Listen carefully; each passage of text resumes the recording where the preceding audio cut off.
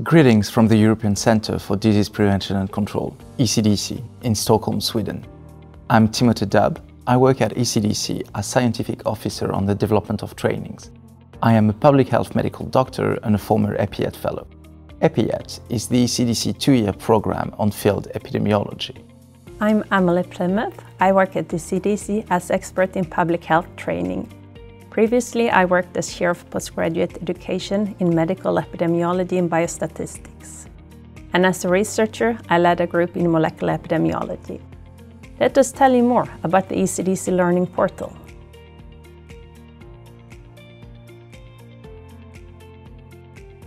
The Learning Portal is managed by ECDC, the European Centre for Disease Prevention and Control, which is a public health agency of the European Union.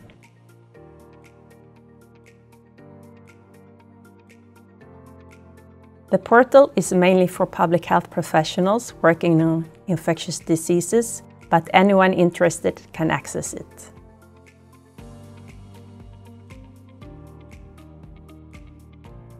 There are various learning formats available, from extensive e-learning courses to short webinars.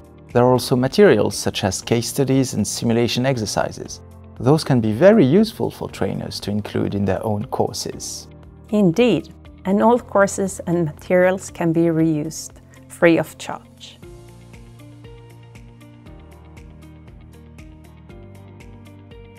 The public health learning activities available on the ECDC Learning Portal are mainly in the areas of epidemiology, microbiology, prevention, preparedness and response. Training courses and materials are regularly added and cover major public health issues such as antimicrobial resistance as well as new areas, bioinformatics for example.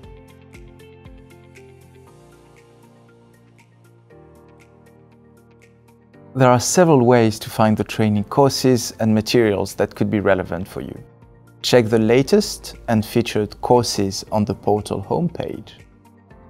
Perform a search entering your own keywords and filter your search results by selecting the relevant categories infectious disease topics, public health areas, or training activity formats.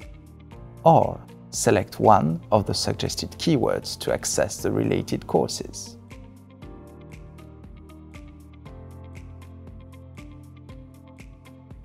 As guest user, you can browse the course catalog to check what is available on the Learning Portal. Creating a user account allows you to sign up for specific courses keep track of your progress, access your past courses, and generate certificates of completion.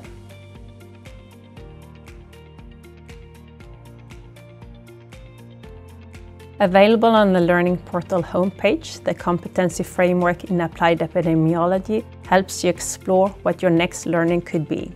Choose how you prefer to assess your current competencies. Install the easy-to-use tool and answer the questionnaire or read the full published report.